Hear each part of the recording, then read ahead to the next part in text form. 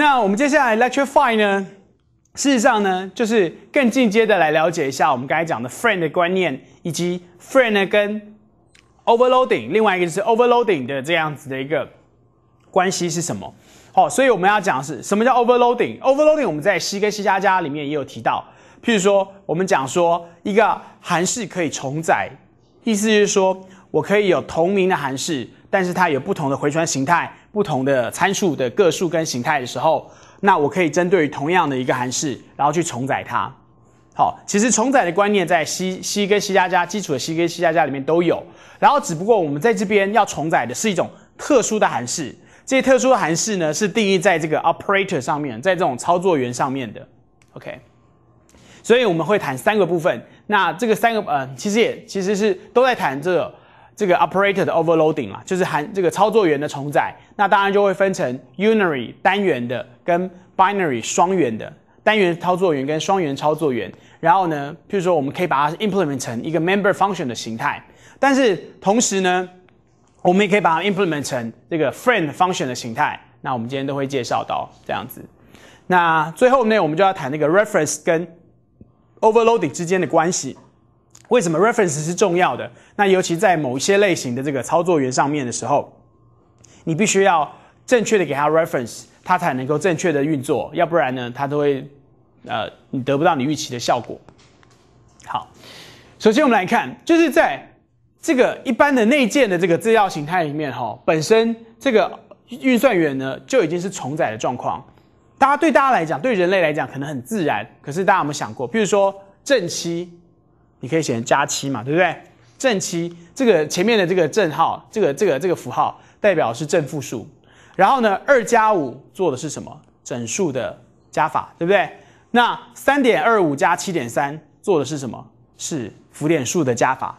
也就是说，在我们本身原先的 C 加加的定义里面，它本来就会去重载这些加法这个符号，这种基本的运算符号。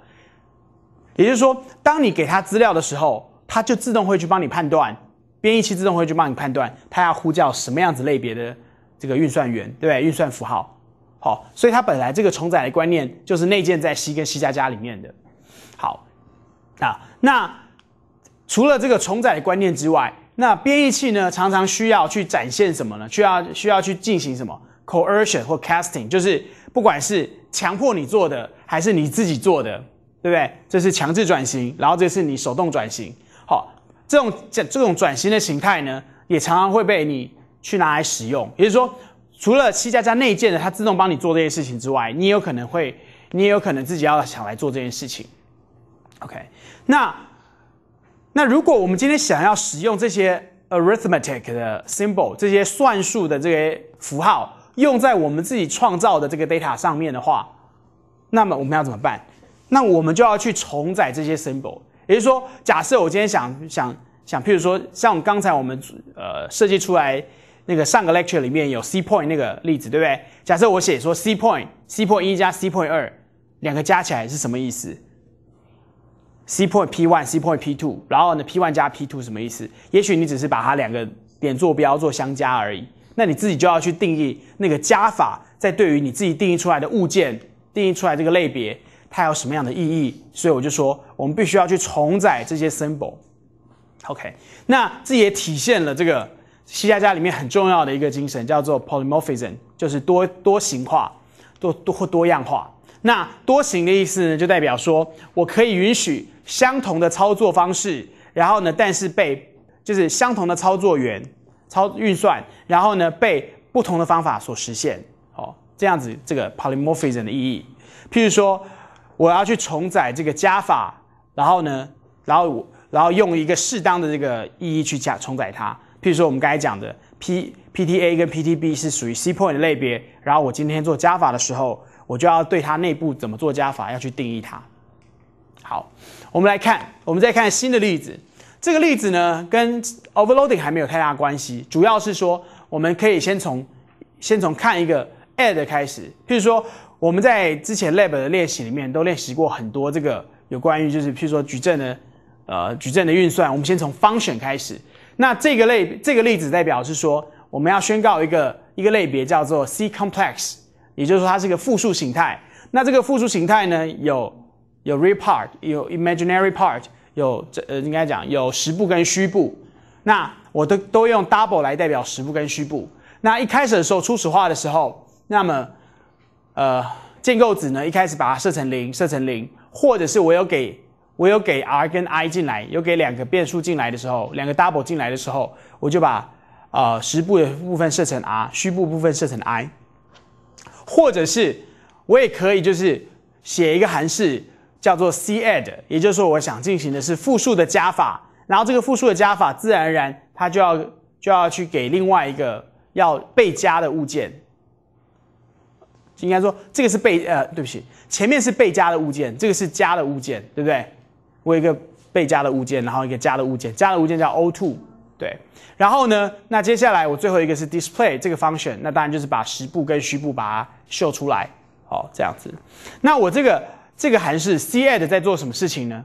我这个 c add 这个 member function，首先我们来看它的回传形态是 c complex，然后它自己是它的名字叫 c add，然后它吃一个它吃一个参数，然后也是 c plex c complex 的一个物件。然后他自己在做的事情就是，我首先先宣告一个，呃，C complex 的物件叫 C，那我的 C 的 real 呢等于现在这个被加的物件的 real 加上这个加的物件 O2 点 real，然后呢 C 的 image image part，然后等于现在被加物件的 image part 加上呃 O2 的 image part，然后呢加完之后再把我的这个 C 整个回传出去，它就完成了。我们要去做两个复数的加法的动作，对不对？就是实部加实部，虚部加虚部的动作，OK 吗？知道这个防这个函选的这个法函是在做什么吗？好，所以在 main 里面呢，我自然而然可以宣利用这个 C complex 先宣告一个 C one 三四，代表是它是三加四 i，然后呢二负七代表是二，然后呢减二减七 i 这样子，然后我的 C 三一开始是先不初始化它。因为我的 C 三要等于 C one 点 C add，然后 C two，这就是被加的物件，这是加的物件，然后自然而然它会实部加实部，虚部加虚部，所以呢，你可以想见，它 C one 最后印出来的是三加四 i，呃，就是三逗点四 i，然后 C two 印出来的是二负七 i，然后 C one C two 加起来的结果是 C 三，印出来的结果就是五负三 i，然后结果就跟下面一样。好，那这个例子只要说，这个例子完全没有问题。就是说我当然可以知道，就是我今天宣告一个物件，我要去使用它的时候，我可以帮这个物件去写，去写各式各样的运算。譬如说写 c add，我甚至可以写乘法也可以，对不对？加减乘除，我要写什么都可以。但是问题是，如果我一直在去写这些 member function 的话，事实上是很麻烦的一件事情。好。那我可不可以不要用韩式的呼叫来进行这个动作？我可不可以直接的就可以写出来这样子？C 三等于 C one 加 C two，直接用数学运算符号写的方式，我就可以完成我要这个动作，而不用再写再去写这个韩式呼叫。那答案当然是可以的，原因就是因为我们就是利用了重载这个加法的这个运算元，然后来完成这件事情。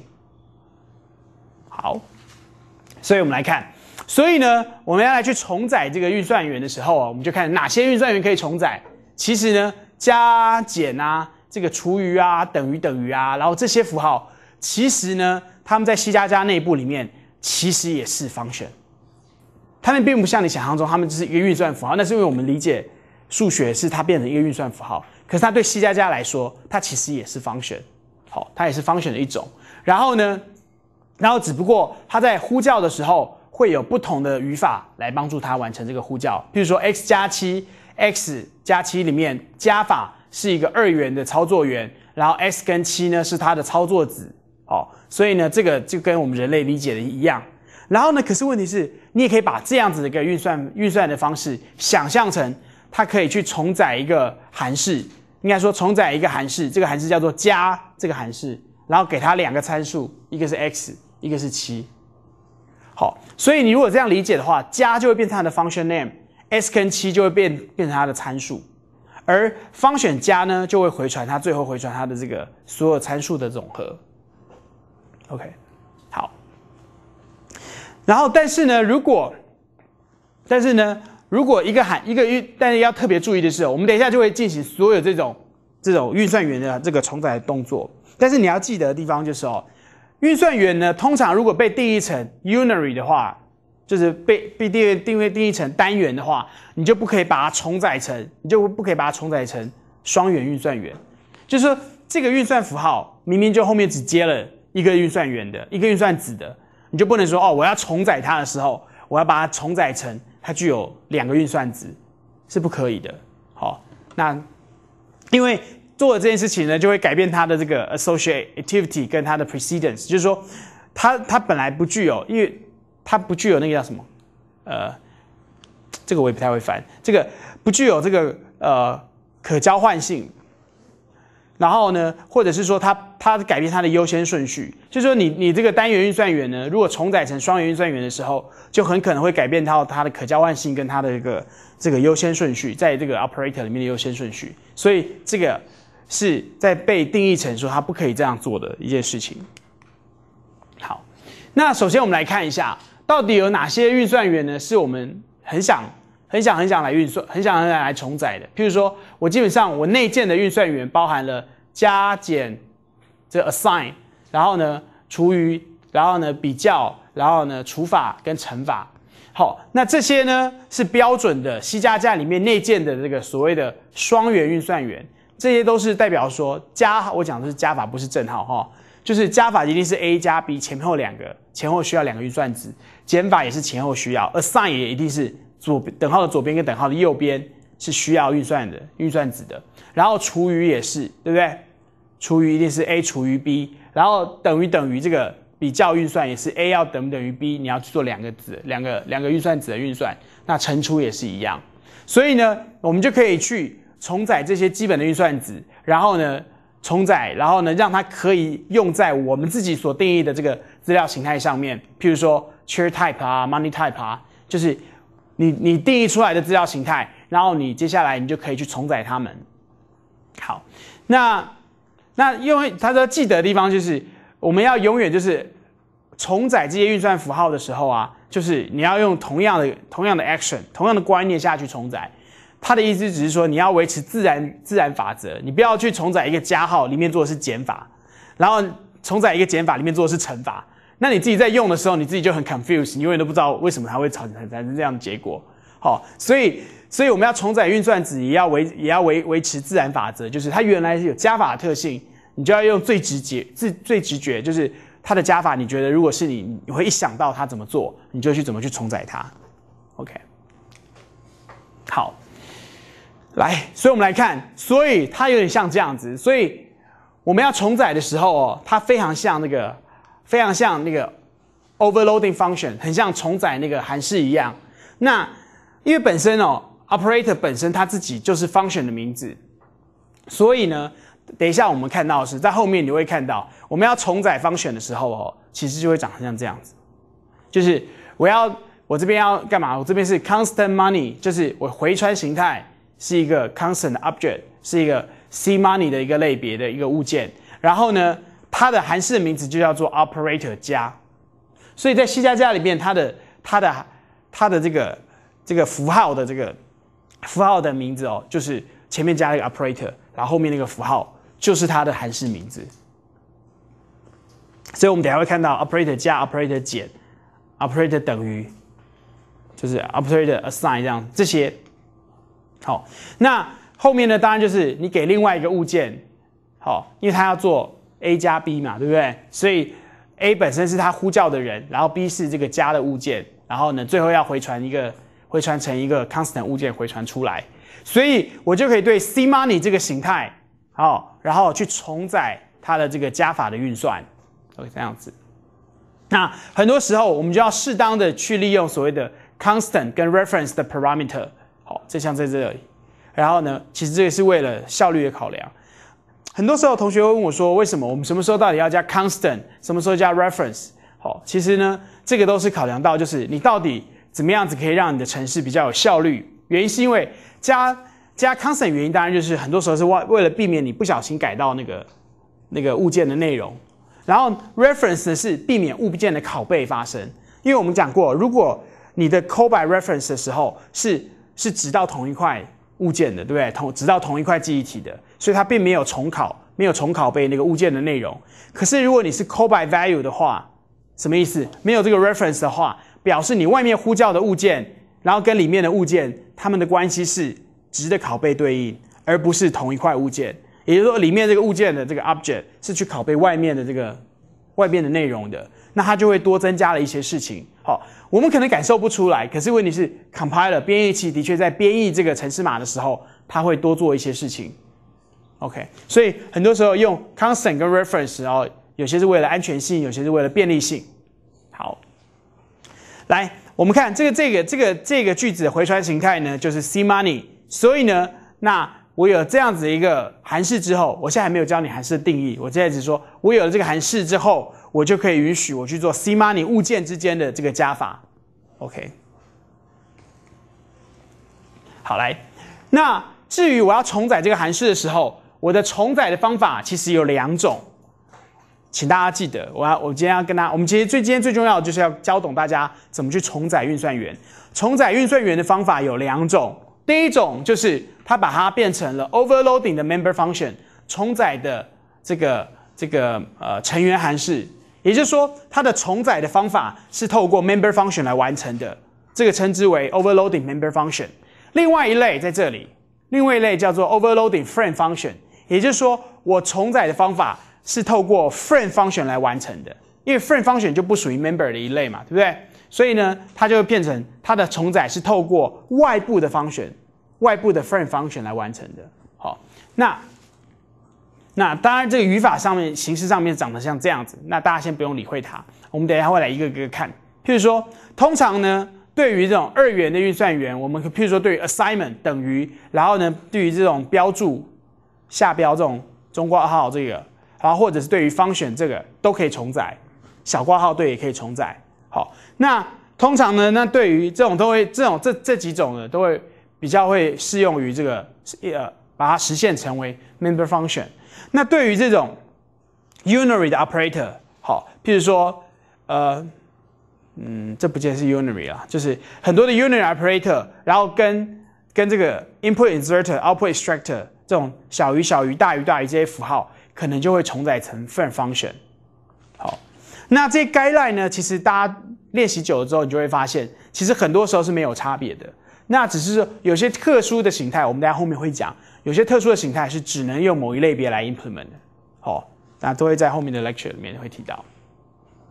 好，所以呢，这个 friend 是我们刚才提过的。好，那只有 member function 可以存取到 class 的 private data，所以呢，你会想要的呢？你会你会想要去用一个 non non member function 去存取 private data 的时候，你就要把这样子的一个 function 宣告成 friend，这样它就能突破那个突破那个 encapsulation 的限制。OK，然后但是要要记得就是哦，不要随意的用 friend，要不然其实封装就没有任何意义，你干脆把它全部都打开算了。好，所以你要用的时候呢，只有绝对的需要的时候才能这样用。然后呢，尽量避免他们去破坏这个，尽量避免他们去破坏这个所谓的。这个资料的封装性，OK，那好来，这是我们刚才讲的，就是说你这个 non-member function 啊，可以被宣告在 public 或者是 public 或者是 private section，然后甚至是这个 class 的一开始进来的地方，因为我们讲过，只要宣告成 friend 之后，它就其实就不受那个，它其实是它不是 member function，所以它是不受那个 private 啊，然后呢 public 这些修饰字的这个这个规范的。好，所以没有关系。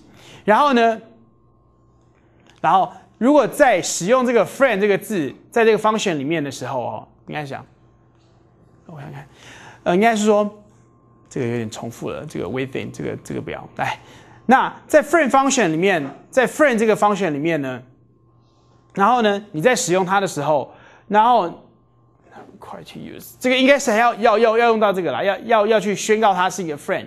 要不然它会变成一个，要不然它会变成一个 class 里面的那个内部 private function。你要记得要去加一个加一个 friend 的这样子一个字修饰字在前面。这句话也写错来。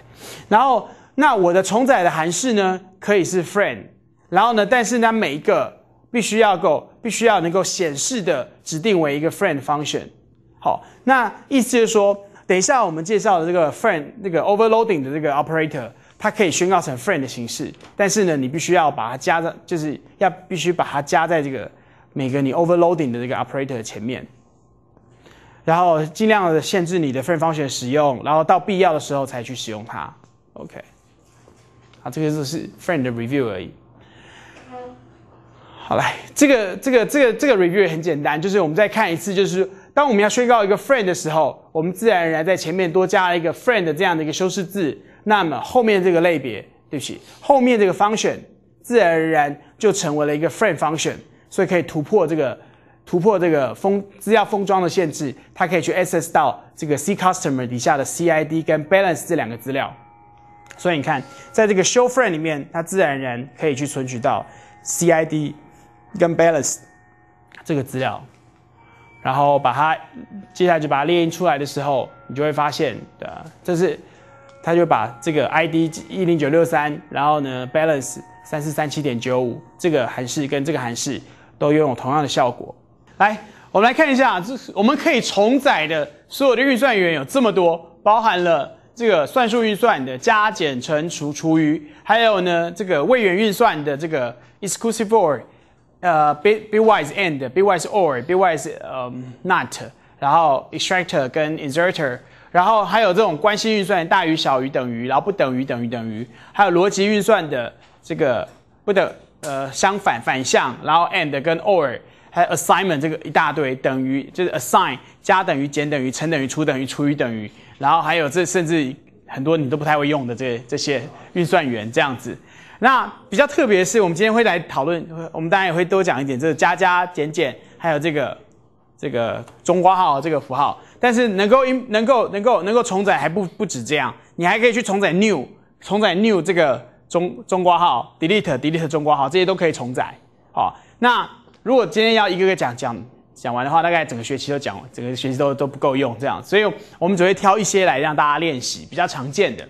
好。那不过我要讲哪些可以重载之前，我们要先讲哪些不可以重载，请大家记得，其实有些是在 C 加加里面是被定义成你是绝对不可以重载它的，有五个，这五个呢是不能被重载的。那为什么？因为啊，这五个是有它特殊的运算意义存在，你要是把它替换掉了，然后它正常的运算就会出问题。比如说点运算，然后呢 pointer，然后还有这个 scope resolution，就是那个范围界定符号，然后还有就是 conditional 的这种。三位的这种 ternary 的 operator 就是问号之后，大家记不记得这个？就是问号，然后接 a 跟就是什么条件成立情况之下 a，然后什么时候条件之间不成立的时候 b 这样子。还有 size of 这几个，这五个是不能够被不能被重载的。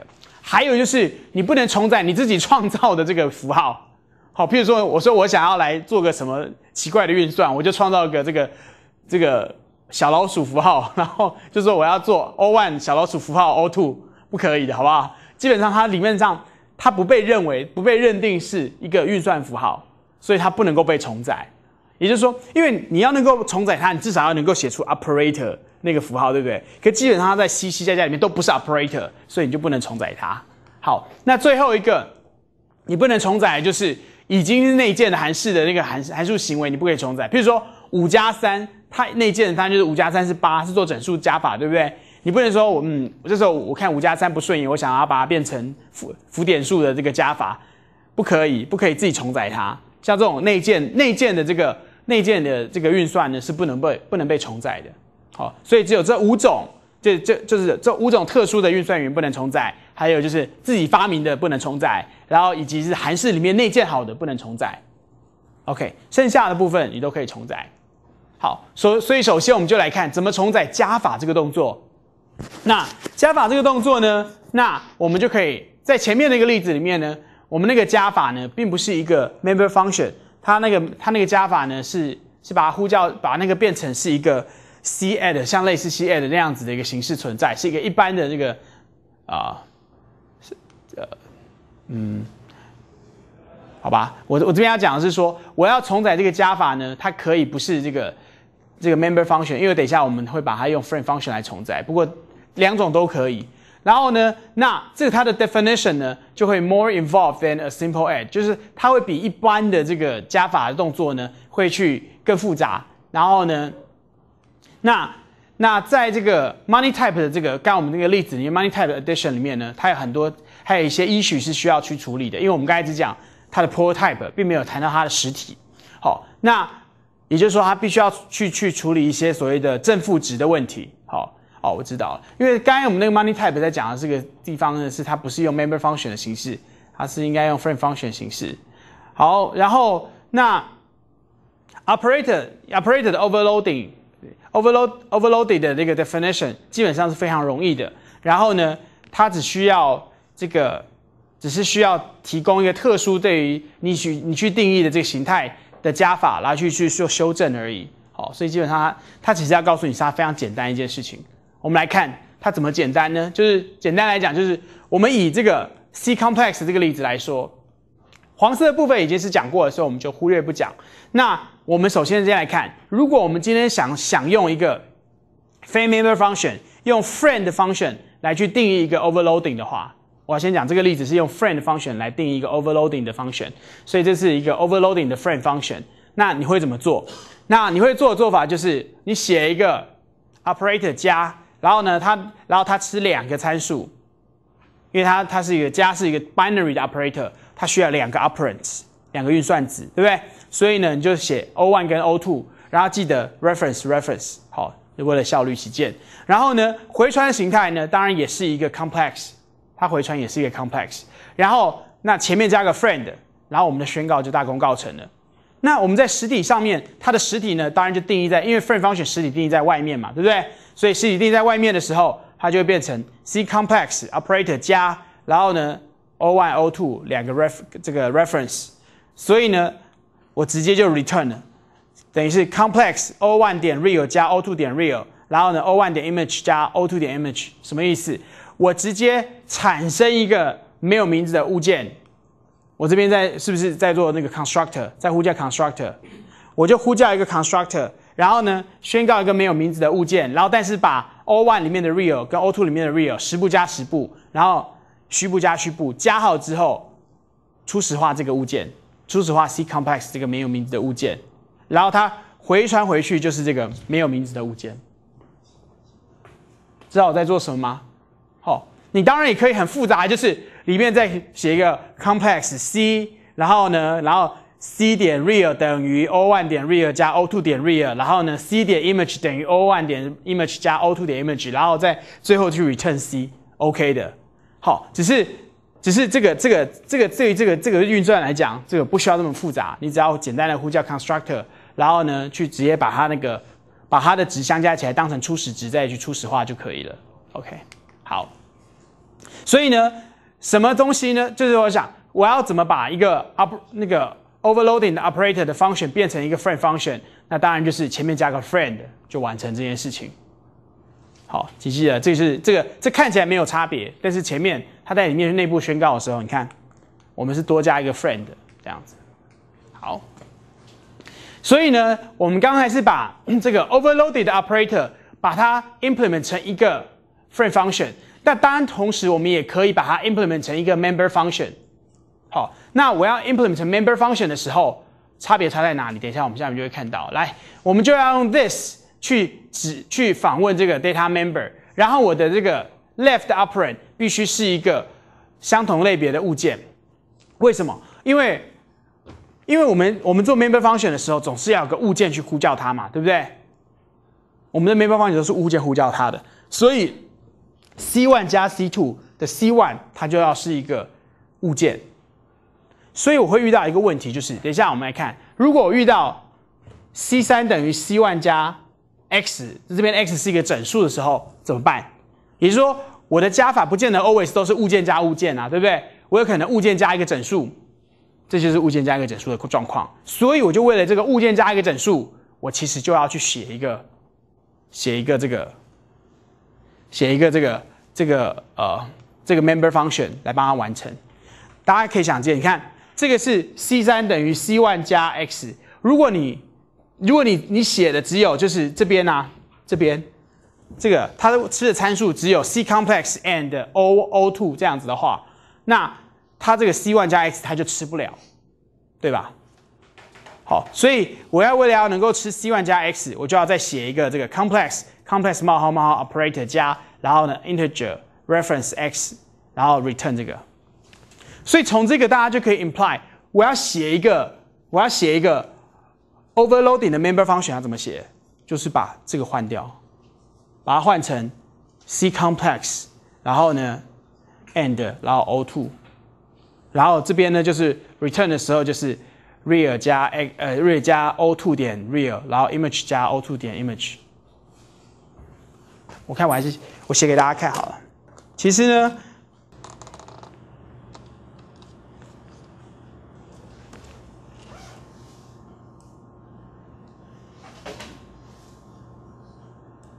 它很简单，它它其实就是这样的。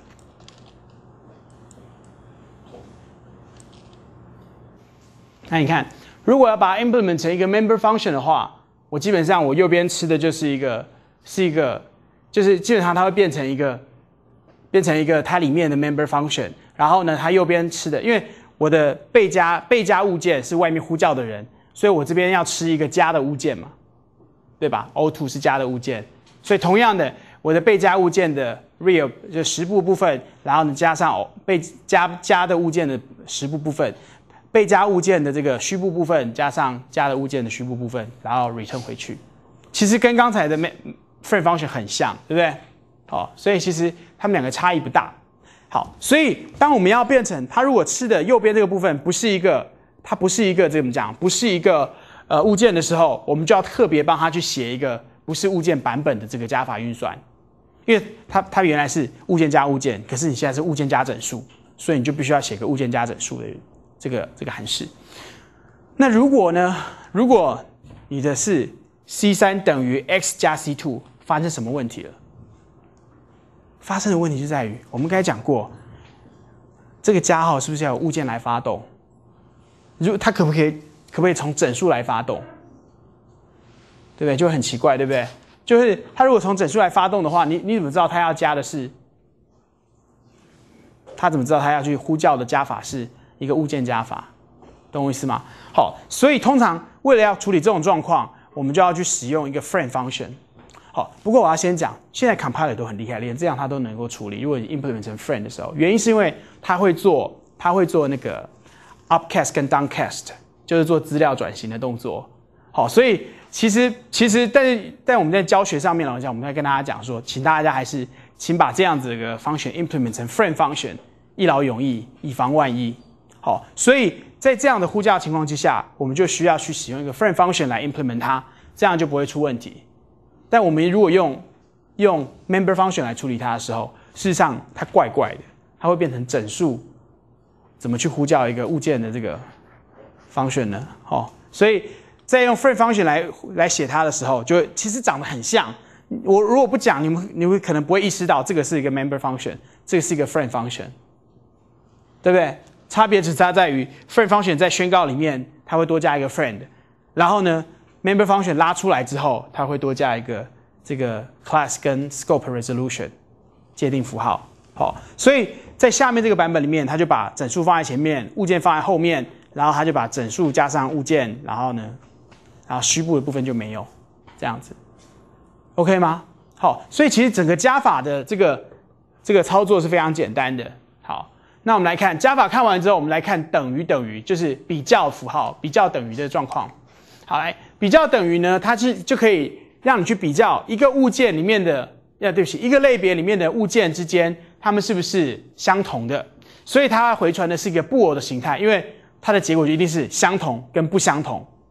好。所以它回传的是一个布偶形态，然后当然它也可以，就是它我们这边要是可以把它变成像一个 non-member function，把它把它变成是一个 free function 的形态来重载这个，来重载这个这个等于等于这个符号。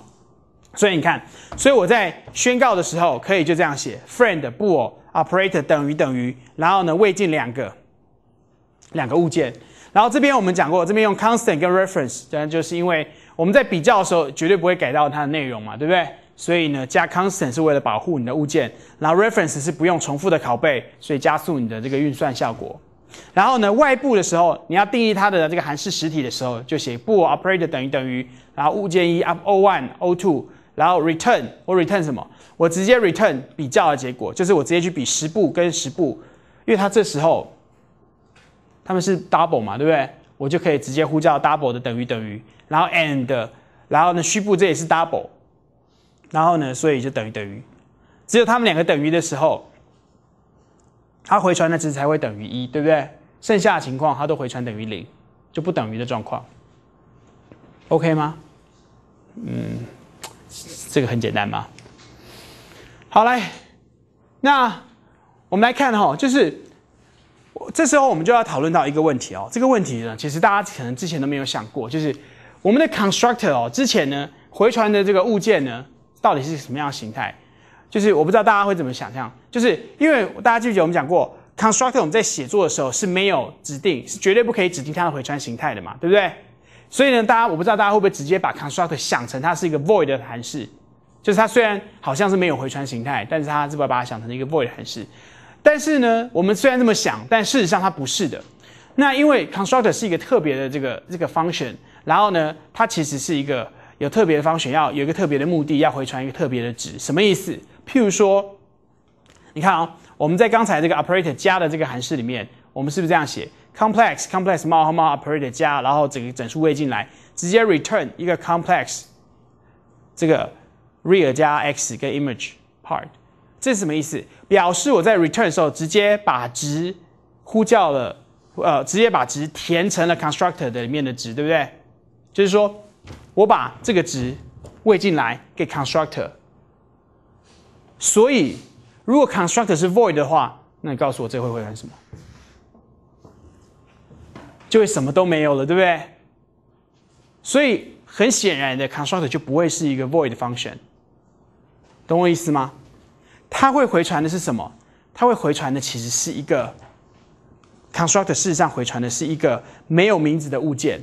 也就是说，我这样呼叫完之后，它的确会留一个指标在这里，它没有名字，它没有变数的名字，但是它会有一个位置，就是告诉你说，我现在呼叫 constructor。我的 compiler 帮你去找一块记忆体空间，它就给你这块记忆体空间的位置，所以它是一个回传一个没有名字的物件在这里，懂我意思吗？好，所以所以这边 constructor 本身它是有一个它是有一个实体的内容存在的，而不是一个 void function。哦，好，那在这样来在这样之下呢，我们来看看这样可以怎么会做发生什么事情？假设我们有个 mutator input。input 是一个输入函式，然后还有一个 non-constant overloading 加在这个 C complex 里面，什么意思？就是说，你看哦，我先看这个 input 是什么？我在这底下的 member function input 就是叫你输入实部跟虚部嘛，对不对？实输入实部跟虚部。然后呢，我的 C complex C complex 冒号冒号 operator 加，然后喂一个 O2 进来，好，这是我们刚才讲的，这个就是用这个就是用 member function 来 implement 的版本。然后呢，把这个 real 加 O2 点 real image 加 O2 点 image，然后利用一个 constructor 呼叫，然后回传回去。所以呢，它就会 return 一个 non-constant object。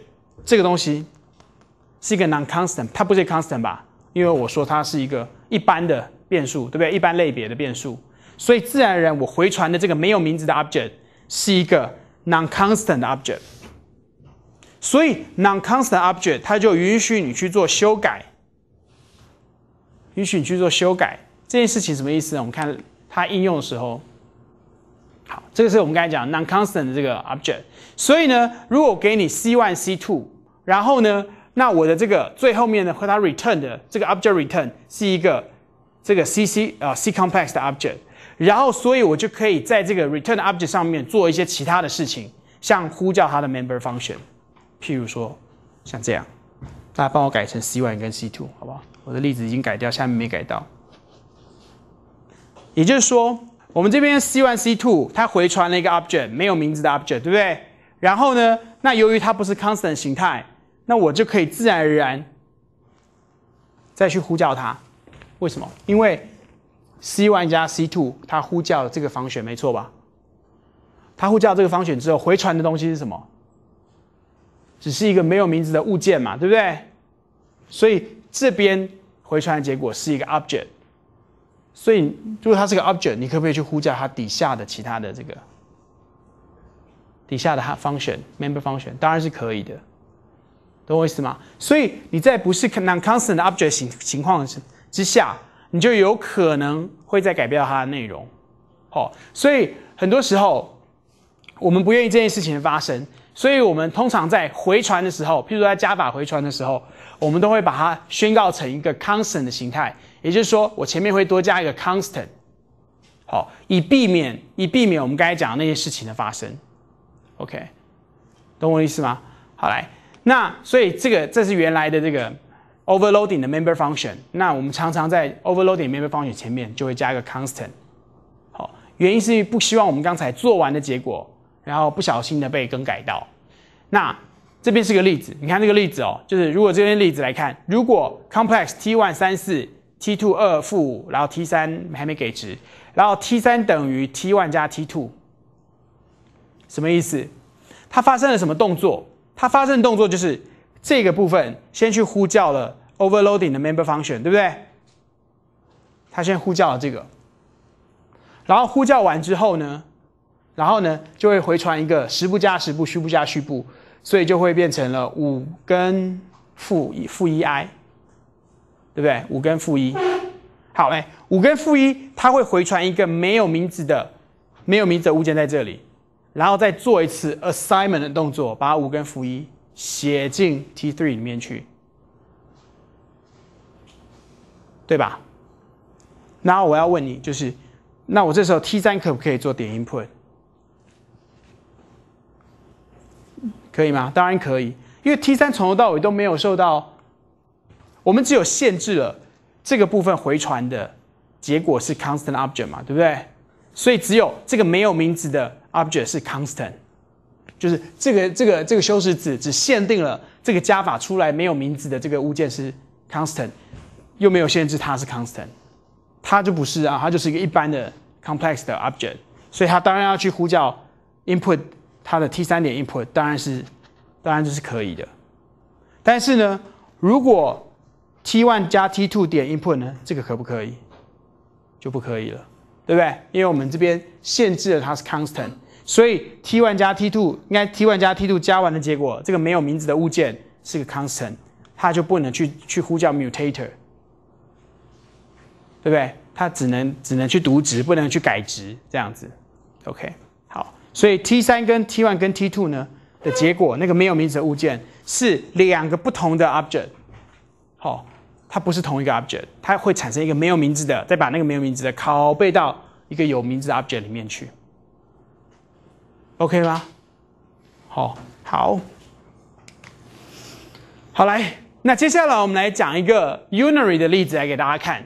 好，那 C 加加里面有很多的 unary operator，意思就是说，我的这个 operator 只吃一个运算运算子的，譬如说负号，就说 x 等于负 y，好，那当然只有这个部分是 unary 啦，好，那这个等于的符号 assign 的符号还是 binary 的，好，所以那 negative y 就是负 y 这件事情是 unary 的，然后呢，其他的 unary 符号当然也还有包括了 d 加加减减，对不对？就是 increment 跟 decrement 的部分。好，所以这个这一类型的 unary operator 也可以被重载。我们来看到负号怎么重载。我如果负号要重载的时候非常简单，负号重载的话就是，当然就是，哎，这个是 operator 是负号，这是负号哦。那 operator 是负号的时候，它需不需要吃运算子？它其实是不需要吃运算子的。所以呢，因为它只有一个物件，它不用吃运算子，所以。那那你运算回来的结果呢？就是运算回来的结果，只是把它变一个符号嘛。所以对我来讲，就是把这个 complex 来讲，是把它实部变成负号，虚部变成负号，就直接回传回来了。好，所以这样我就写完了。好，那怎么写一个这个 frame function 版本的那个那个负号的那个 operator 呢？就大家去看 lecture 五至四里面，我也有写好的。好，那你会发现在这个负号版本里面呢，就是在 unary 的版本里面，你看啊，unary 版本它是不需要吃 argument 的。好，然后呢，它它写了这个这个负号之后，它其实就会会重载两次。什么意思呢？如果你有写一个版本是给减号的话，就是做加减法的话，那他就会知道一个是给减法的，一个是给这个所谓 unary 做负号的。那他怎么判断？他就是看你吃进来的参数个数来判断你在你在做的是负号还是你在做的是减法。好，所以这个很简单。好，那这是个例子。那个 lecture 五十四里面，你就会看到，在 main 里面呢，如果这边呢，当然就是变成它是呼叫减法的运算，然后呢，在这边呢，它就自动去呼叫所谓的 unary 的运算，然后它的值就会正确的算出来。好，那整个操作部分呢，请大家去看一下 lecture 五十四，比较会有一个具体的这个感受。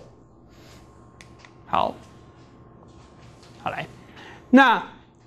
那接下来我们要继续深入，就是说，我们之前很多例子呢，就会把它变，把这个，把这个 function 呢定义在外面，然后形成一个这个用 friend 的方式来做。那当然，我们现在也可以用 member function、member operator 的方式来重载它。好，所以它就要用这个 member function 的方式来实做它。然后我们要讲的是说，哈，如果你是一个，你看哦，你看哦，大家想看，我们现在来看，如果你要 member function 来重载你的运算源。如果对于二元运算员来讲的话，我第一个运算员是不是当成呼叫函式的人？好，所以，所以如果你要用 member function 来重载这个呃二元运算员的话，它会吃几个参数？只吃一个参数，只吃一个 mem，只吃一个，只吃一个 object，对吧？然后如果你要用，如果你要用 member function 来重载所谓的 unary operator 的话，由于我呼叫的人就是。就是只有一个 object 了，就是那个 operand，就是那个运算子了。所以我的我的那个挂号里面需还需不需要其他的参数？就不需要其他的参数，对吧？大家知道我在说什么吗？因为你的运算运算员只会分分成二元跟单元嘛，对不对？那二元的时候呼叫的人自己占掉一个，所以剩下的那个就要当成参数。那单元运算员的时候呼叫的人就是那一个了。所以呢，它有没有参数？就没有参数。这是这是 member function 的做法。可是 friend function 的做法呢？friend function 就会变成它，因为它是一个外部的函数，对不对？所以你的 binary 的你的 binary 的 operator 两个运算元都会到参数区。当你是 binary 的时候，你的两个 operands 都会变成它的参数，都会变它的 input arguments。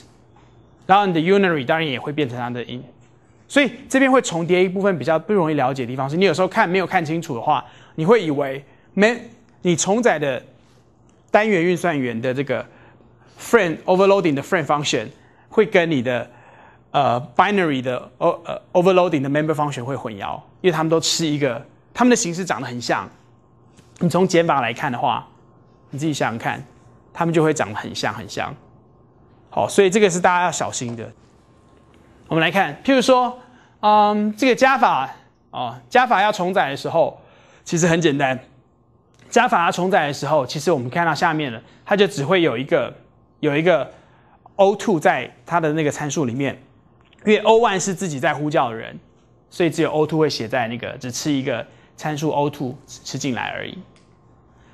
然后，所以呢，在 Lecture 五之五呢，我们就会有一个综合的例子，譬如说，我们来看啊。这里面呢，我们写了加法、减法跟加等于啊，所以当我们这边加法的部分呢，我们就写了这个加法的部分就吃一个 O2 的，然后也可以加一个 double 的。那加等于呢？那加等于的话，我们就是加一个，等于是 O one 等于 O one 加 O two 这样子。好，那我们同时也写了这个写了什么呢？写了 friend 版本的一些函式，譬如说这个就是。double 在前面的，就是我们刚才讲过，这种就是在用 double 用 friend function implement 比较自然的方法，就是 double 在前面的，好，double 加一个 o one 的，哦，它不是两个，它不是 o one 加 o two，不是两个物件相加的，而是一个整数或者一个是浮点呃双倍浮点数，然后再加一个物件的，然后呢，另外这个是嗯这个你看这个是 friend，你在 friend 去读它的时候，你看到减法的时候，你看到这个，你看我要讲的是就是这个，这个跟这个。如果这个是减号的话，大家想想看，你会觉得它很像，它几乎长得一样。可是他们两个做出来的事情是完全不一样的，因为这个是这个是 binary operation，这是双元运算，这个呢是 unary operation，单元运算。好，所以大家在看的时候要稍微去判断一下它是是不是 friend，是不是 friend 就会影响到它吃的参数的个数。好，它 prototype 长得真的非常非常的像，好，所以不能用 prototype 来就看 prototype，其实你是看不出来的。好，所以从加法来上，呃，从这个双元双元双元运算元的加法，那当然就是 real 等于 t real 等于 real 加 o two real，然后实部加实部，虚部加虚部，然后回传 t。然后呢，如果加一个 double 的话，就是只有实部加实部加 r，然后呢虚部不变，然后回传 t。然后呢，加等于的情况之下是 o one 等于 o one 加 o two，对不对？所以你的 real 就等于就应该说你的 O1 的 real 就是它自己现在 this 知道的就是 O1，。就 real 加等于 o two 点 real，然后 image image part 就等于加等于 o two 点 image part，OK 吗？我这样会不会太快？我需要一个个讲吗？不需要吧。好，然后呢，这个是这个是 overloading 的 member function，那下面是 overloading 的 friend function。那 friend function 的话，那我们刚才讲，就前面就是前面就是一个 double 的 double 加一个物件的，所以一样就是 t real 就等于 r 加 o one real，然后 t image part 等于 o one。点 image part，然后 return t，然后它的这个负号的部分呢，就是负号的部分，那很简单，就是把 o1 的这个 real 部分 real part 跟 image part 都做了一个反向，然后回传一个 complex，好，就 OK 了。然后呢，这边因为这边我没有做 constant 的防护，大家记得就是这边必要的情况之下，这些这些这些都需要做 constant 的必要的防护，以免你去不小心改到里面的值。那这边是只是一个测验的结果，把我们上面的这些这个所实现到这个，然后呢分别拿来拿来呼叫，然后你就会看到这个对应出来的结果。好，所以呃这个没有什么，这个请大家回去执行一下，然后就可以了解。好，那接下来我们来看就是加加跟减减的部分哈。加加跟减减的这个这两个符号啊，就是大家用的很频繁，对不对？比如说我，大家用 for 回圈的时候，就很喜欢加加，很喜欢减减这样子。所以呢，那这个这个这两个符号其实都是 unary 的，都是单元运算元。然后呢，所以它里面又分成两种形式，一种是前置前缀加法，一种是后缀加法，或者是后缀减法。所以 prefix 跟 postfix，好，所以。就意思就是放在前面跟放在后面的差别，所以有加加 object 减减 object，这是前缀的加法，前缀的加减法。然后有后缀加减法，就是 object 加加 object 减减。然后所以如果我们要把它宣告成一个 member function 来实做的时候，那 C 加加里面怎么区分它是前缀还是后缀呢？简单，就是这是这不要问我为什么，因为这是 C 加加语法里面规定的规范的，就是它的前缀呢就不用为参数。它的后缀呢，就多为一个 int，就是这样子。也就是说，当你要重载的是前缀的加法，前缀的加 increment 的话，不是加法，对不起，递呃前缀的递增的话，递增符号的话，你就写成这样形态。那如果你要是定义的是这个后缀的递增形态的话，你就多一个 int 在后面。相对的，如果你要用 friend function 来 implement 的话，也是一样的。因为 friend function function 来 implement 的时候，前缀的就直接给前面是一个 object 而已，那后缀的呢，就后面要多一个 int，然后形式上一模一样。好，所以我们来看这个这个事情，我们怎么来做呢？假设我们只是要 implement 一个 c count，那这个 c count 里面呢，只有一个 onside integer 叫 cnt，那这个 cnt 首先这个是 constructor，这个 display 就是把它值数设定好，把它值印出来，然后呢，那我们把假设我们就把它的 pre prefix 的 increment 前缀递增符号，然后呢用呃 overloading 的 member function 来 implement 的话，那我们讲过前缀的是没有加 int 的嘛，对不对？所以你就这样写 cc count 的 reference operator 加加这样就好了。好，然后呢，那如果你是后缀的呢？后缀的话，你就是要这样写。好，后缀的就是 friend，然后 cc count operator 加加，然后然后呢 cc count and n percent，然后 int。好，然后呢？你看，来前缀的部分呢？前缀的部分就会变成了我前面的这个 operator 加加，然后呢前缀，那你会发现我意思前缀的意思是什么？就是先把我的里面的内容先递增，对不对？然后再回传我的 pointer 给他，所以我的前缀就会先把我的 c count 加加加完之后，我再去 return 现在我这个物件回去。给人家。那我的后缀呢是什么意思？后缀就是我要先回传我的物件的这个这个这个 pointer 给人家，然后我自己才去做递增的动作。好，所以我先，那我要怎么达到这件事情呢？我就只好先把我还没有改变之前的结果先记起来，先拷贝进来，拷贝成一个 temp。知道我在说什么？好哎，所以呢，然后做完这件事情之后，我再做递增的动作。那我回传给人家的，是不是就是给回传给人家前面我们还没有加过，就是之前我还没有加过的这个这个动还还没有做递增动作之前的那个物件的内容？呃，了解这个差异吗？大家记不记得？譬如说你写呃，譬如说 x 等于假设 y 等于 y 等于一好了，那 x 等于加加 y 什么意思？y 是一，然后 x 等于加加 y，是不是 y 它做前前缀加法的时候，是不是先把 y 的值先递增一，然后再把 assign 给 x？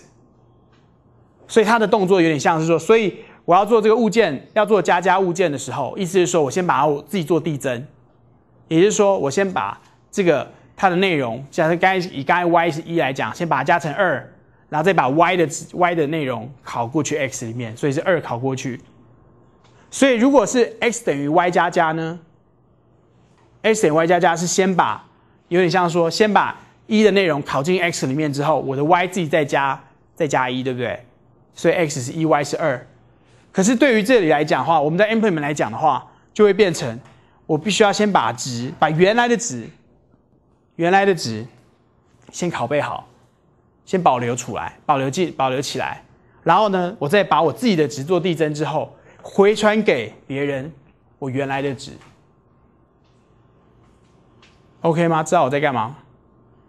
好，好，所以这两个部分，好，这就是我在这加加递增这个递增这个动作的时候，然后呢前缀跟后缀的差别。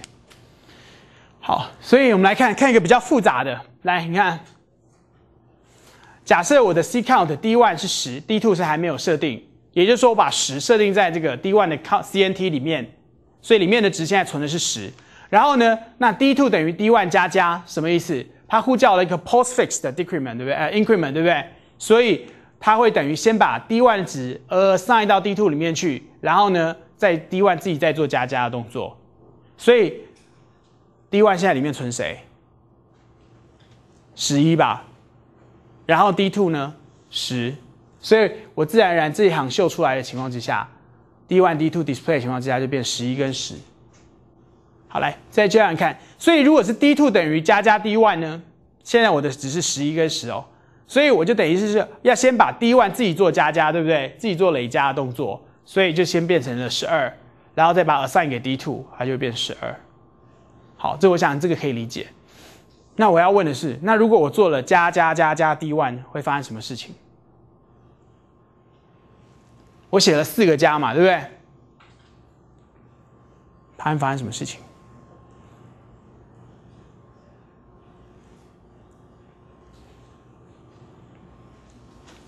你可以怎么看？你可不可以先这样看？先看它先做一次加加 D one，现在 D one 是十二，对不对？所以它做了加加 D one 之后会变多少？十三。然后呢，十三再加再做做做一次加加呢？就变十四，对不对？然后为什么这会变十四呢？会原因是会牵扯到，就是我们刚才做前缀的时候，大家记不记得？我们做前缀，我们实现这个前缀加法的时候，它最后回传的这个是谁？回传呼叫物件的本身，就是我这边不是谁呼叫的，我就回传它嘛，对不对？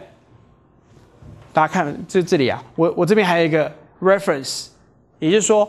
我回传的是当初呼叫的那个物件，所以，所以这边做完这件事情之后，他回传的物件是谁？是 D one，所以再加加 D one，它就变成做了两次。它就做了第一次加加 D one 之后，回传了 D one 回来，又再做一次加加 D one。听得懂我的问题吗？OK。好，那如果大家听得懂的话，请大家回去一定要去看 lecture 五之六。为什么呢？因为 lecture 五之六呢，我又再埋了一个问题，我就因为在 lecture 五之六，我还要写减减的这个符号。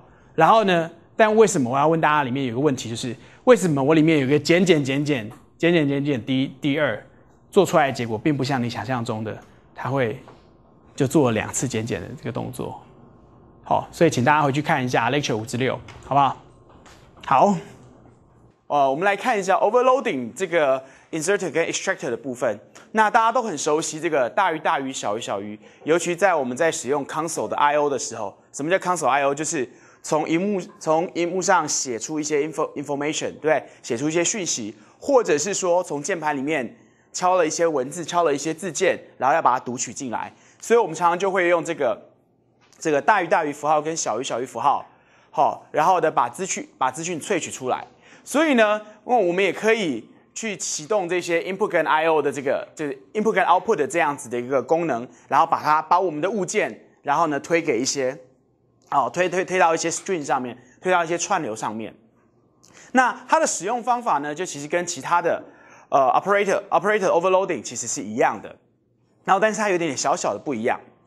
我们首先先来看 format 的部分，format 部分的话，那你要。这个是大于大于，对不对？大于大于就是要把资讯萃取出来嘛。那它把资讯萃取出来，它要要的参数就是一个 i string，也就是输入串流。因为我们只能从输入串流里面去抓东西，把一路一路把它抓出来，对不对？所以我们要从给它一个 i string，然后利用它这个 reference 的方法，避免重复浪费的时间的拷贝。然后呢，后面呢就是你的 object object 的那个连接。好，那。那回传的形态特别要注意的就是，它也是回传一个 i string，然后呢，然后 m percent 这样子的一个状况，这样子的一个回传的一个形态。然后为什么？等一下我们再来讨论。首先我们看下面这个例子，譬如说，我们针对于我们所撰写的 C complex 这样子一个 complex 的这样子的一个 class，这样子的一个呃复数的这样子一个类别，那我去定义一个 friend function，大家看到前面有 friend，所以我可以定义一个 friend function，然后呢，那接下来就是我，因为我现在定义的是一个小于小于的符号，也就是说小于小于符号就是说我要把我的资讯推过去，推到哪里去？推到输出串流去。所以我的第一个参数就叫做输出串流，然后 m percent，然后把它连接成一个 out 的名字。好，所以外面给你什么样的输出串流，里面它叫 out。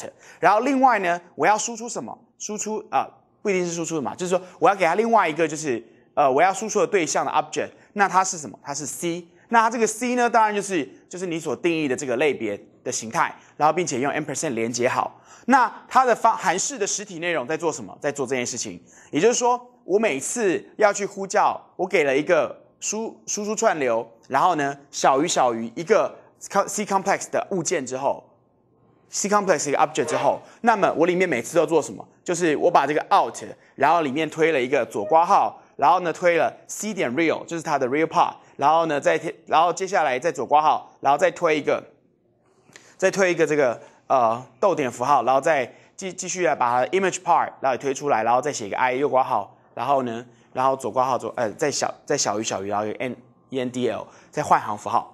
那这件事情呢，那那这件事情我要问大家的时候，像你看哦，在这一步骤的时候，它是不是都用了左括号左括号左括号左括号左括号左括号？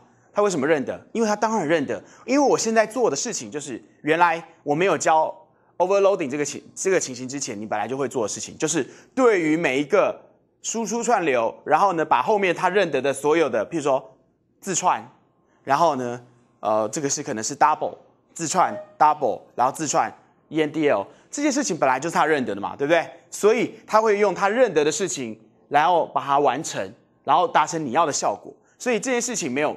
对我们来讲不是新的事情，是做完这件事情之后，最后我再 return 一个 out，也就是我把串流输出回去，回传回去。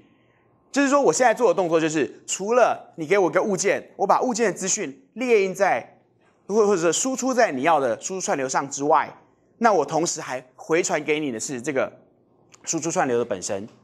那啊，当然为什么？因为我要输出串流的本身。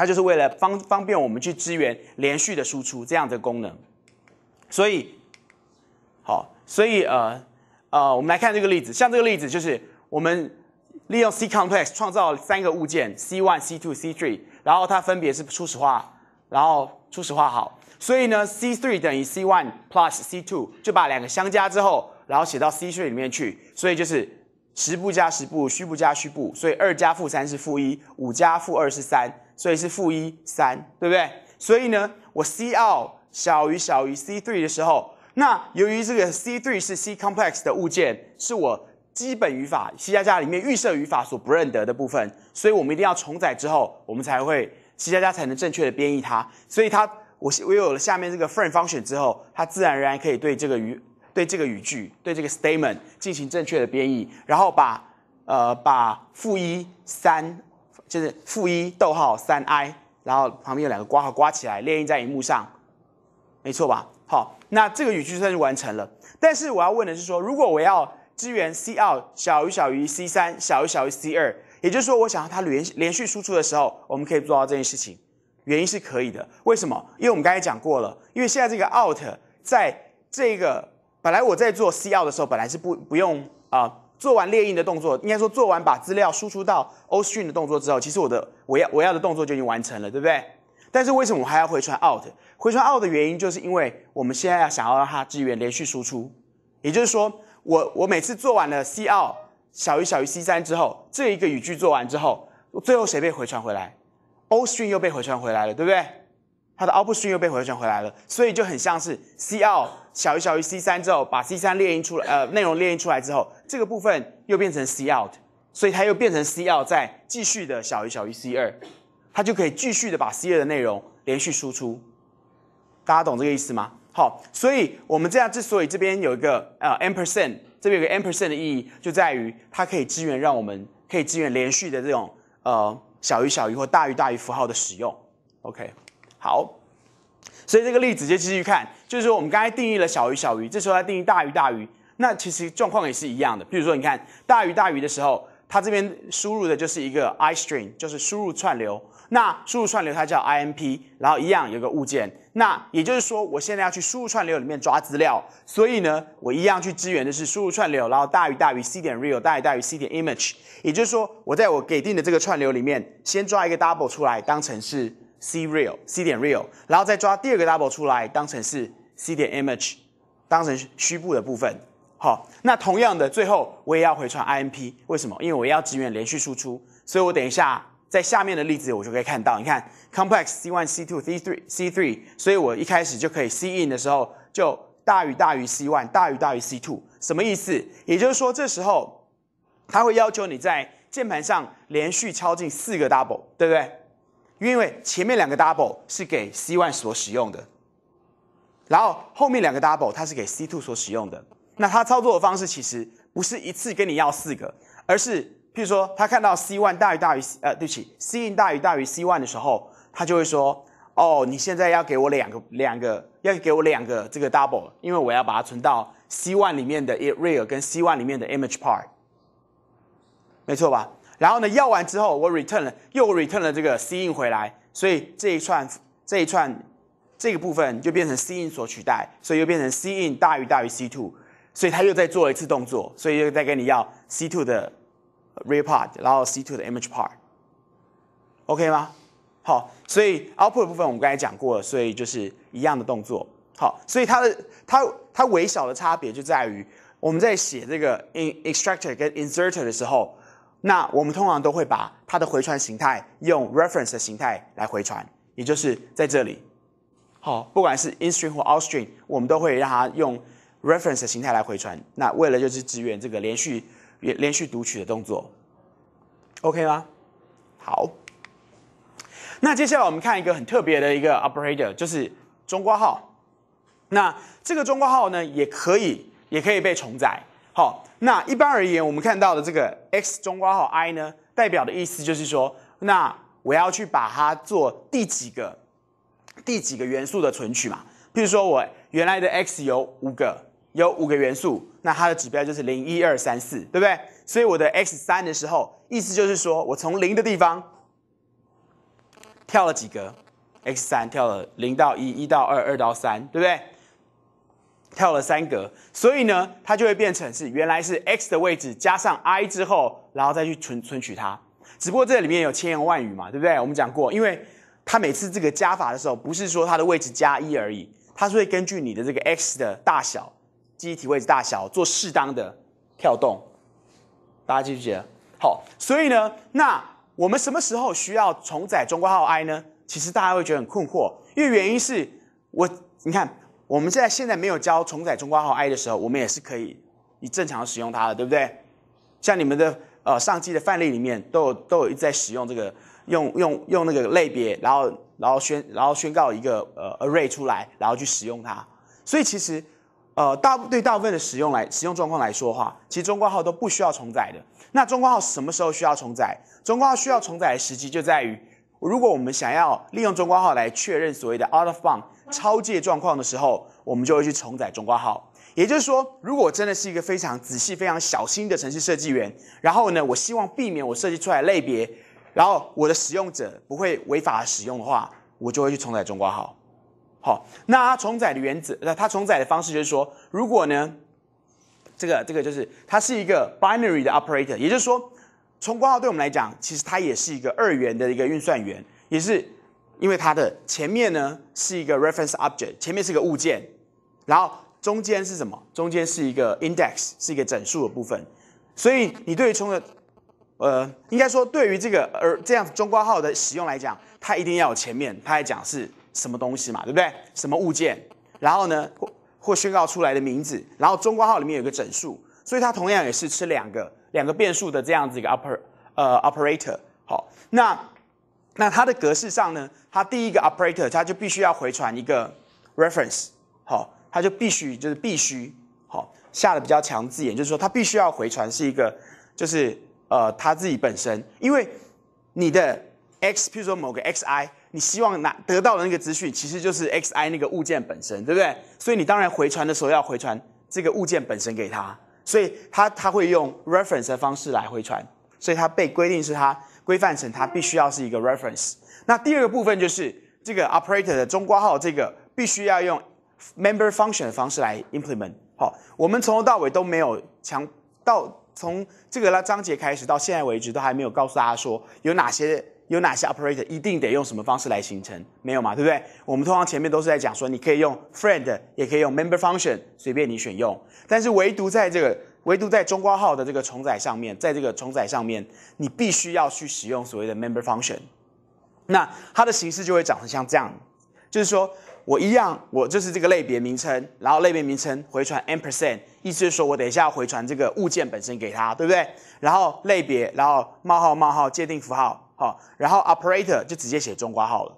然后它为的是什么？因为我们讲过，它为，因为它是一个 binary 的 operator，所以如果它吃的是两个参数，那第一个参数是物件本身，对不对？它需不需要给？不需要，因为因为它用 member function 实现的时候，本身物件本身就是呼叫的人。对不对？所以第一个参数就不用写了，它要写的只有第二个部分，就是属于它的它的指标的位置，index 的部分，就是它到底是第几个第几个这样子的 element 这样子个部分，所以它的索引值会用整数的方式来呈现，然后里面再接着它呃 function body 这样子。好，我们来看实例。那这个实例呢，在 lecture 五十七的这个呃。呃，范例程式里面可以可以完整的可以看到。那不过我们来看这个，主要我把比较精华部分摘要出来。假设我们在 Lecture 三里面，我们已经看过了所谓的 C string，也就是说，我们自己去定义一个叫做 string 的这样子一个类别。那它里面呢有所谓的呃资料内内内部的资料，in 内部的资料叫做 line，也就是说它这个 line 呢是用 character array 的方式来实现的。那同时，它支援非常多的 public function，那当然有它的 constructor 啊，然后 copy constructor 啊，还有很多其他的 function。那现在主要就是说我想要针对于这样子的一个物件，我去定义我的所谓的，我去定义所谓的这个呃呃，它它的这个它的中括号的这样子一个中括号这样子的一个呃形态，呃这样子一个 operator。那所以我在定义的时候要怎么定义？那我在定义的时候就看，哎，它前面呢是。哦，我要先讲，因为它的内部资料结构，它的内部资料结构，它的是用 character 来，哦 character 来 character 来回传的，所以我这边回传形态的时候，我就用 character 去接它回传出来的那个字源。大家想想看，我的内部资料是一个 character array，对不对？里面都是每一个 character，所以我的 character array 给一个中括号 i，譬如说给一个索引值的时候，它要回传的是什么？它要回传的是这个 character array 里面的某一个 character 嘛？没错吧？好，所以呢，它前面有 character reference，意思是说我在这个 character array 里面，在这个内部资料里面，我要回传的是某一个 character。然后呢，当然我另外还要给的是它的索引值，那它的实体在下面。也就是说，我先看，所以当我在外部定义它的时候，那我这边就会写 character character reference。那根据我们要回传的形态，然后我去定义的是 C string 底底下的 operator 中括号，然后给一个给一个索引值 i。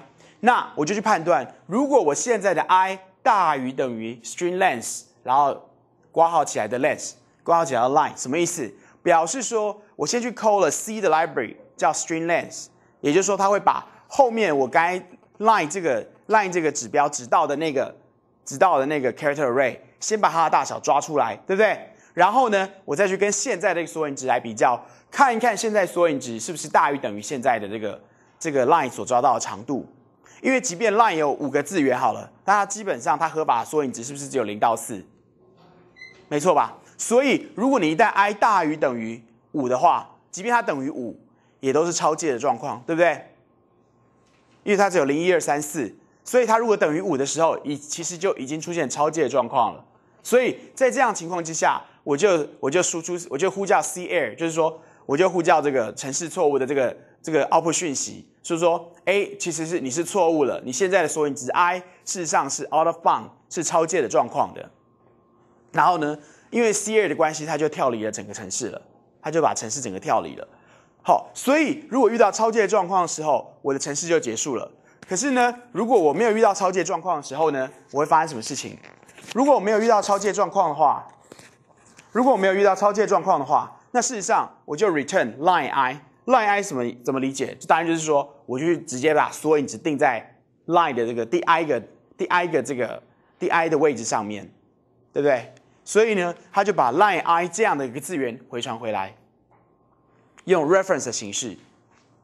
好，所以你外部在使用的时候，你的 line i 就会就会就可以就可以抓到那个 line i 的位置。所以你看我们下面怎么使用？我们下面假设我今天的 C string 宣告一个物件叫 one。里面存的叫做哦 lecture 呃 five dash seven 好，所以 lecture 五之七，那所以它就会呼叫我的 constructor，然后把这件事情完成。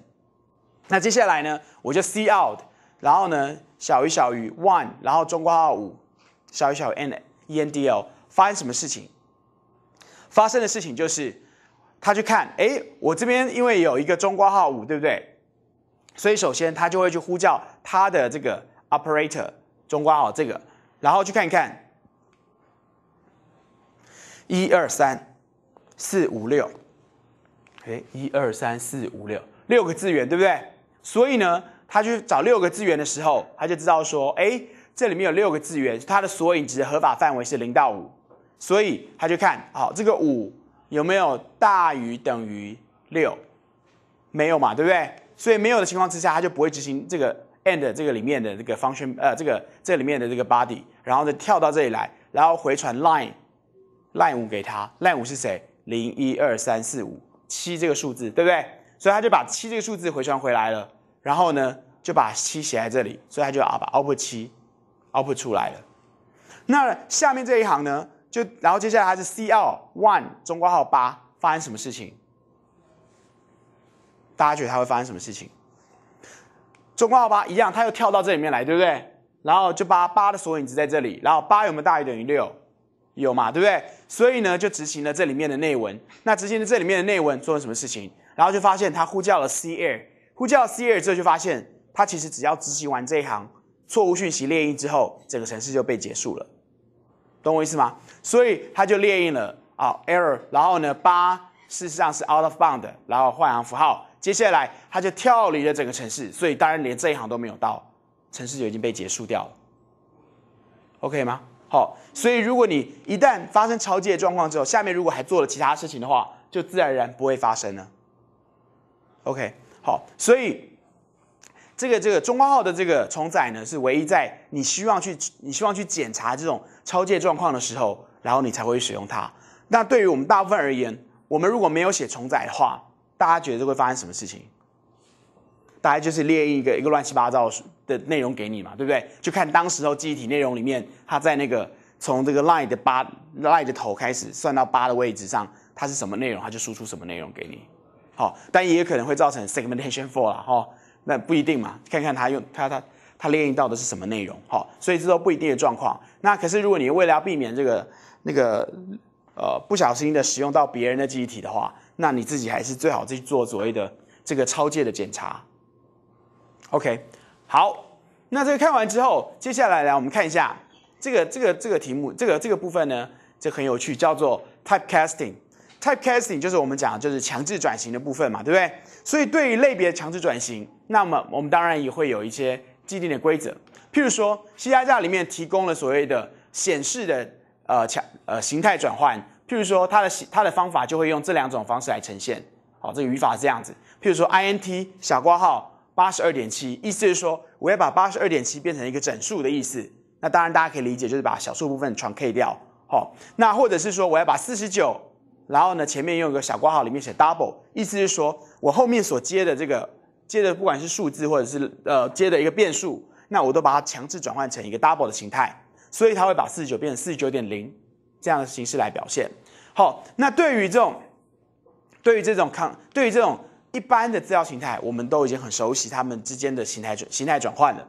那可是对于类别呢？那类别里面就会有特别一种叫做 conversion constructor，就是转换。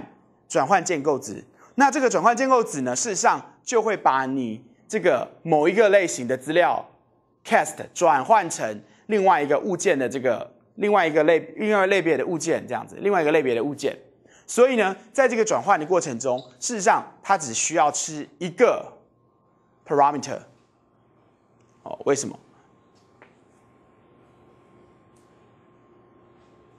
为什么它它可以只要吃一个？一个五也只要吃一个这个 parameter，因为它本来就是就是你一个，因为你要吃的 parameter 本身就是它它就是你要转换的对象，那个不那个对象不管是你已经知道的资料形态，或者是你想要转换的，你想要应该说被转换的那个另外一个形另外一个呃类别的物件，好，所以它当然只吃一个只吃一个 parameter，因为另外一个 parameter 就是呼叫者本身。对吧？就是你你希望转换的形态，你希望转换的形态，然后呢，本来就是呼叫者本身这样子，所以它称之为 conversion constructor。所以我们来看这个，譬如说以我们刚才的 C complex 类别为例，所以我这时候就是在写一个 C complex double R，然后呢，这个 double R 接下来是什么？里面就是 real part 等于 R，image part 等于零。好，那大家可能就很奇怪，那这个跟这个跟我们的看跟我们的那个预设的这种 constructor 不是也很像吗？好，所以当然很像，因为它根本就一样。也就是说，你会觉得你有时候这个它在不同的角色的时候，它就会 serve 不同的 purpose。你看哦，譬如说我我这样写 complex o one 挂号四点二，在我们没有讲 conversion constructor 之前，你会怎么理理解它？你就是说，嗯，它是它是什么？它就是一个 constructor 嘛，对不对？只是它 constructor 的目标是把四点二放进你的物件里面的资料里面去，没错吧？好，所以呢，但是你也可以把它理解成，我现在有一个四点二的这样子的一个四点二这样子的一个物件，或这样子一个变数，我想要把它转换成一个复数的形态，所以它就变四点二加零 i，懂我意思吗？好，所以在这个情况之下，这个当然会是一样状况。那我们看另外一个例子，complex o two 等于 o one 加上。C C Plex 二点五什么意思？那大家的意思就是说，我今天是 O one，然后呢要去加上一个二点五，转换形态成 Complex 的一个形态。那这两个是不是就可以直接相加？如果我没有去呃，如果我没有写多余，就是 com 就是就是我原来这个物件，应该说我的假设我没有去 overloading 那个加法到让它可以变成是物件加一个。双倍浮点数的话，我是不是就可以把事实上先透过把这个双倍浮点数转换成这个物件的形态，然后就去呼叫我里面的物件相加？但这个前提是你写了物件相加这个这个加法的 overloading，懂我意思吗？好，所以有时候我们不见得要去帮每一种，譬如说你自己想，假设哈，假设我有非常多的形态，譬如我有整数、双倍浮点数，然后有 float，对不对？我有这么多种形态，那我如果要去重载加法的话，我是不是每个都要去重，每个都去写，每个都去写？然后可是如果你你今天本来已经在 copy constructor 或 constructor 那个部分已经去载，已经去写过这些部分的话，那你就可以想见，那你是不是一定要每次去重载这个加法，还是可以可不可以简单就利用 conversion constructor？然后呢，去帮助你完成这件事情就好了。大家了解我的意思吗？好，所以，所以这个就是呃，conversion constructor 在强制转型的部分。然后你看哦，但是从简单的类型转成复杂的复杂类型，其实对我们来讲概念是简单的。但是呢，如果我们想要把一个复杂的类型转成一个简单的类型，该怎么办？会很困难吗？其实也还好。那其实它就需要一个 type conversion 的 function。那这个 function 呢？那语法长成这样，我们来看。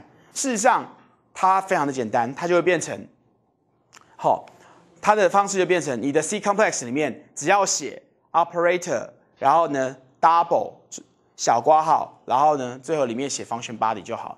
也就是说，我们现在把 double 小括号本身当成是一个 function 大家记不记得我们讲过重载的时候，其实有很多的重载，我们讲过是超出你想象的，这个就是包含了这个。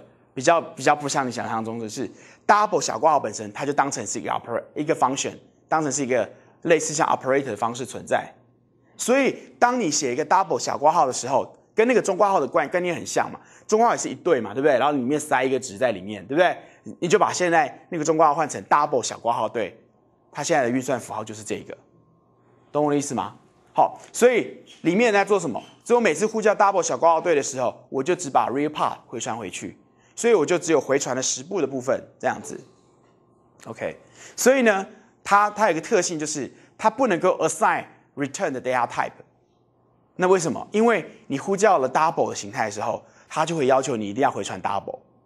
所以你就不能说哦，我呼叫 double，然后你给我一个 integer，或者我呼叫 double，你给我一个 character，是不可以的，懂我意思吗？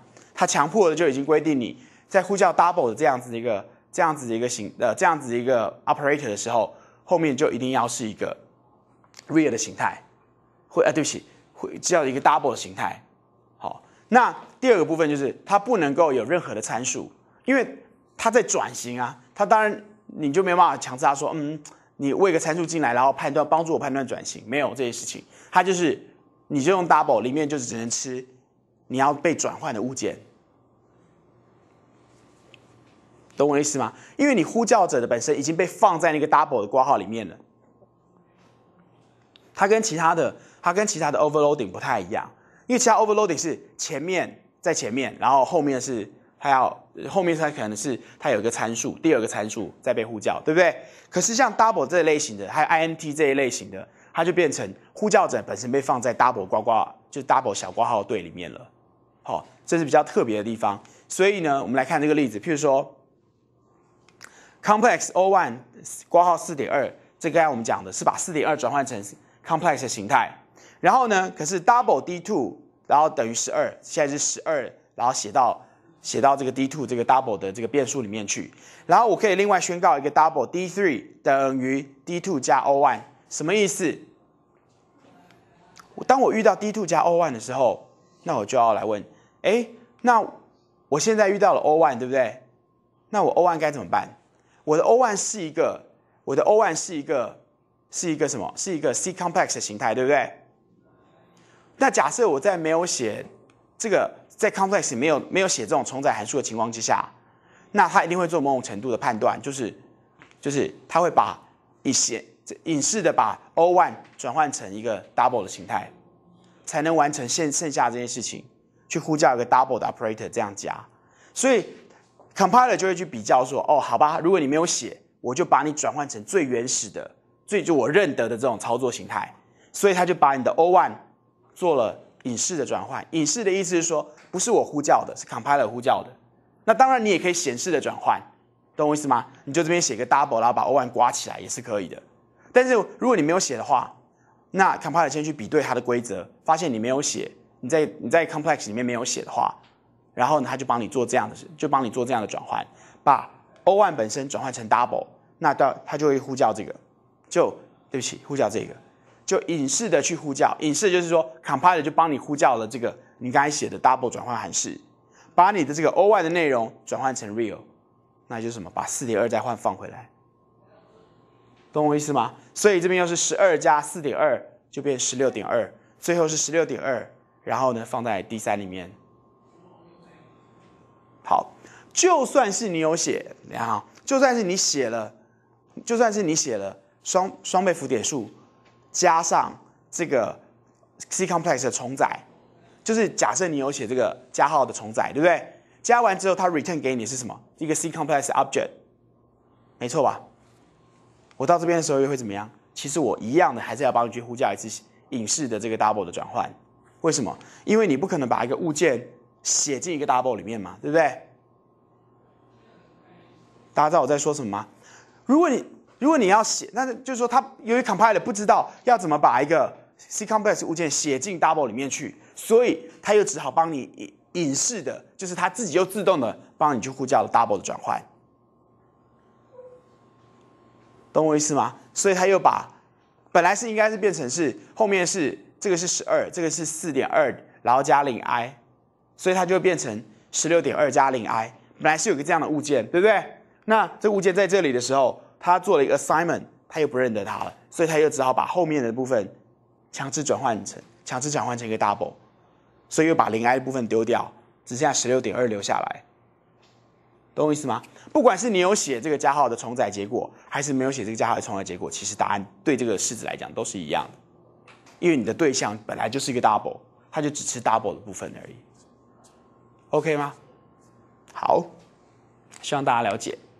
好，那如果讲完这个之后呢，其实这个 lecture 呢我们就讲完，因为这个 lecture 比较单纯，这个 lecture 其实纯粹就是在讲说，其实就是讲 overload 的概念，也就是 C 加加里本身很多内建的 operator。那都可以根据你今天类别的物件，然后来去重载它。那事实上，这些 operator 呢，只是单纯的就是一些 function。那它可以利用 friend，可以利用呃 member function 的方式来存取它。所以这边有用 friend 的，这边有 member function 的。那那 friend function 呢？然后事实上呢，它只增加了这个效能的这个这个呃这个效效率部分。那它不见得是就是呃。有些情况之下，就是不见得是需要的。好，如果在那个在这个有充分的 accessor 跟 mutator 的情况之下的话，那我就不见得要用 friend 的方式来存取。那后来还有我们谈到有很多的 reference，呃，很多的 operator 会利用到 reference，因为需要做连续的动作的时候，那 reference 就会很重要。好，那在很多的 overloading 上面，像 assignment，然后中括号加加等于啊加加减减这些的话。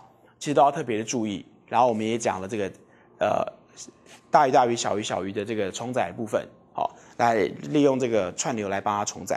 OK，好，那我想这个 lecture 呢，大概就是呃，就主要是在谈讨论就是 overloading，然后以及用 friend 跟 member function，然后怎么来实现 overloading 的观念。好，这个来学到此为止。